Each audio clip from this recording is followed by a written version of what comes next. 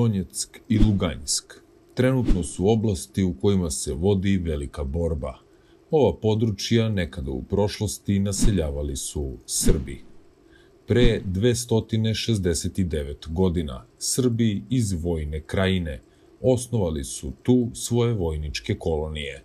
Ovo je priča o malo poznatoj stranici srpske istorije. Osmansko prodiranje na Balkan izazvalo je velika migraciona kretanja srpskog naroda severno od Save i Dunava. U Habsburškoj monarhiji Srbi su u 16. veku stekli poseban status vojnika graničara.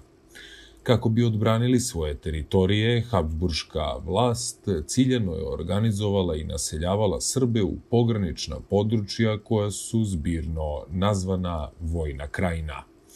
Ta područja prostirala su se u periodu od 16. do 18. veka, od Like i Korduna sve do Banata.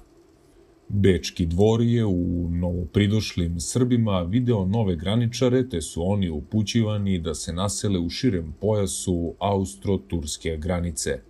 Drugim rečima, njihov dolazak na tlo Austrijskog carstva posmatranje kao pojava koja se nije mogla izbeći, ali koja se zauzvrat i tekako mogla dobro iskoristiti u smislu dodatnog ojačavanja svojevrsne odbrambene tampon zone na austro-turskoj granici.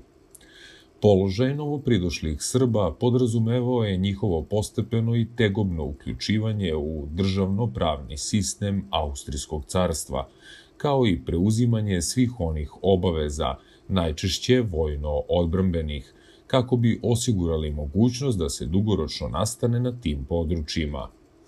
U istorijskom pamćenju srpskog naroda najpoznatije se obe bile su ona iz 1690. godine kada je pod vođstvom pećkog patrijarha Arsenija III. Čarnojevića, kada grupa od oko 30.000 Srba naseljava prostor današnje Vojvodine. U istoriografiji poznata je kao Velika seoba Srba – Druga seoba dogodila se 1740. godine pod vođstvom patrijarha Arsenija IV. Jovanovića. Iako je glavni pravac migracionih kretanja bio usmeren ka teritorijama Habsburške monarhije, nacionalna istorija pamti slučajeve migracije na istok. I to ne bilo gde, već u današnju Ukrajinu, tada pograničnu zemlju Velikog Ruskog carstva. Za razliku od ranijih seoba, odlazak Srba graničara u carsku Rusiju nije imao masovan karakter i do njega je došlo dosta kasnije. Dogodilo se to u prvoj polovini 18. veka, kada je Osmansko carstvo pod pritiskom vojnih uspeha Habsburške monarhije počelo da stagnira, pa i samim tim položaj Srba u tadašnjoj vojnoj krajini počeo da slabi. Srpski oficiri u austrijskoj vojsci nezadovoljni tretmanom u samoj vojsci i obavezama koje su austrijske vlasti počele da nameću na području vojnih regimenti, odlučili su da potraže bolje uslove. Najzaslužniji za formiranje druge srpske naseljeničke oblasti u Rusiji bili su potpukovnik austrijski Jovan Šević i pukovnik husarski Rajko Preradović. Jovan Šević borio se za opstanak vojnih krajina u Banatu i Bačkoj. Kada je postalo jasno da će Bečki dvor definitivno ukinuti vojne oblasti i integrisati ih u civilni sistem, Šević je odlučio da emigrira u Rusiju. Ukidanjem vojne krajine, Srbi su izgubili vojničke privilegije i postali obični podanici carstva sa svim finansijsko-ekonomskim obavezama prema civilnim vlastima. Nakon mnogo peripetija sa austrijskim vlastima oko izdavanja pasuša i dopuštanja da otputuje u Rusiju, najzad se novembra 1750. godine obreo u Petrogradu. Šević je bio jedan od prvih visokih oficira koji je napustio Habsburšku monarhiju i prešao u Rusiju i time otvorio vrata za talas migracija Srba u tu zemlju. Stupio je u kontakt sa carskim dvorom u Petrovgradu, gde mu je obećan čin generala i odobrenje da se sa saborcima nastani u Rusiji. Postepeno je prodao svu svoju imovinu i tajno ubeđivao druge oficire da mu se pridruže. U zamenu za preko potrebnu vojnu podršku Jelisaveta I je obećala muškarcima plodnu zemlju. Napadi krimskih Tatara protiv ukrajinskih kozaka već su pomogli da se Rusija gurne u razorni rat sa Turskom, koji je trajao od 1735. do 1739. godine. Septembra meseca 1752. godine Šević je sa svojom grupom Srba i siljenika stigao u carsku Rusiju. Kijev je bilo glavno kolonizaciono prijemno mesto za dobijanje vojnog rasporeda i kolonizacionog prava. Njih su u Kijevu uputili kod Horvata u Novu Srbiju, a što je smetalo Ševiću. Krajem februara i početkom marta 1753. godine Senat je odlučio posle razmatranja da ovi Srbi zaposednu ukrajinsku liniju, granični lanac, i izvrše naseljavanje na tom prostoru između reka Bahmut i Luganje. Planirano je da se tu nastani 3000 do 5000 vojnika po ugledu na Novu Srbiju. Preradović i Šević su postali ruski generali.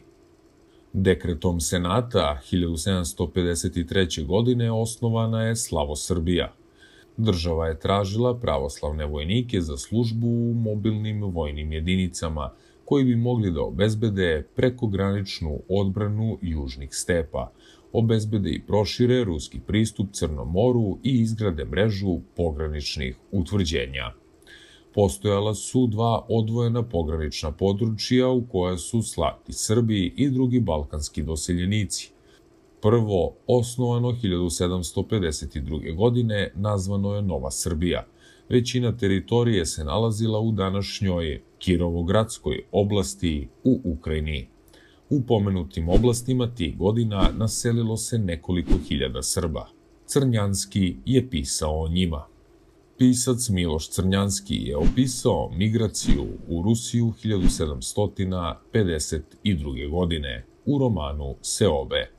Teritorija nekadašnje Slaveno-Srbije danas je u sastavu Ukrajinske, Luganske i Donjecke oblasti.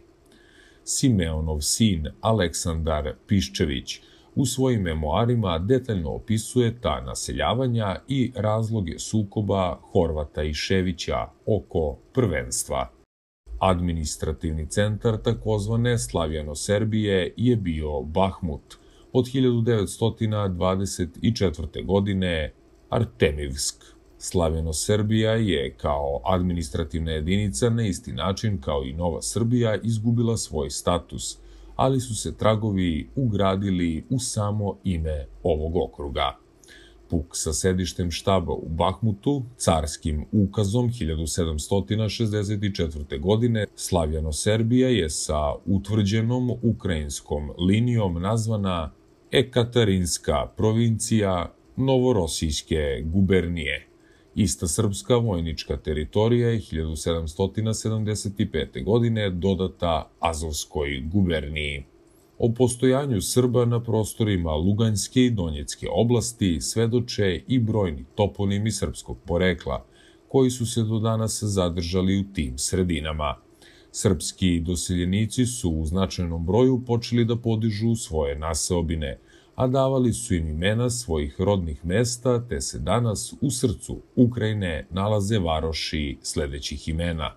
Pančevo, Smederevo, Zemun, Varaždin, Vukovar, Bečej, Sentomaš, Čongrad, Sombor, Turija, Mošorin, Beška i mnogi drugi.